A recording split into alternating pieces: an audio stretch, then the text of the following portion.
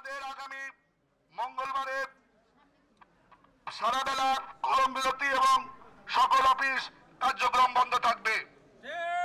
আগামী বুধবারে একই নেই কলম বিরতি সারাদিন এবং সকল কার্যক্রম বন্ধ থাকবে আগামী বৃহস্পতিবার একই নিয়মে কলম বন্ধ থাকবে সকল কার্যক্রম বন্ধ থাকবে তাতেও যদি সরকারের টনক না নড়ে তাতেও যদি এই দাবি মেনে নেওয়া না হয়, তাহলে আগামী এক তারিখ থেকে ঢাকায় যে চলো চলো, ঢাকায় চলো সচিবালয় ঘিরাই করো।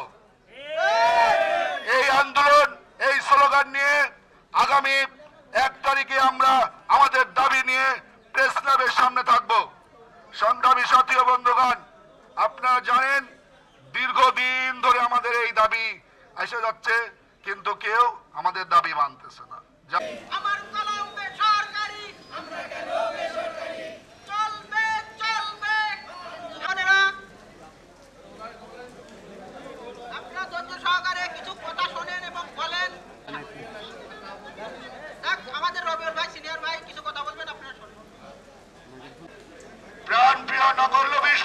সহ আমরা যে আন্দোলনে নেমে আনিসুল হক গত বছর ষোলো সালে আমাদেরকে স্থায়ী করে গেছে সংগ্রামী ভাই বোনেরা আপনারা এখন জেগেছেন ধন্যবাদ সবাইকে আমাদের সিনিয়র ভাই রবিউল ভাই সেই অনুযায়ী সারা বাংলাদেশের নকল নবী ভাই ও বোনেরা আপনারা কাজ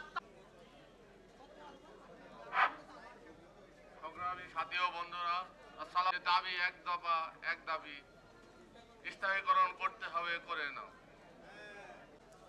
তার কোনো মূল্যায়ন নাই। আমাদের কেন্দ্র কমিটির নির্দেশ, আমাদের যে পর্যন্ত এবং বাইশ তারিখ দশটা থেকে বারোটা পর্যন্ত যে কলম বিরতি, মানতে হবে, মেনে মেনে নাও, স্থায়ীকরণ করতে হবে করে নাও।